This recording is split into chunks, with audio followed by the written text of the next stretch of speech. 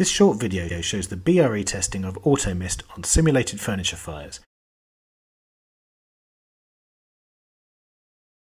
You'll see two videos of fires in an 8x4 metre room, identical conditions, but on the left, AutoMist has intervened, triggered by a heat alarm.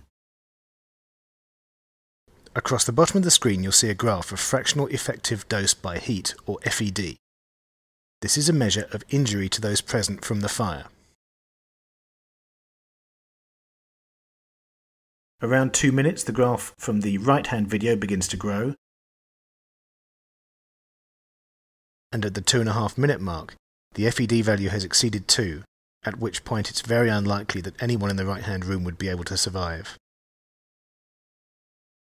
In the left hand room, by contrast, the temperature has been brought down dramatically. The FED numbers remain low as a result, the fire has been suppressed, and it's extremely likely that Automist has saved lives in this scenario.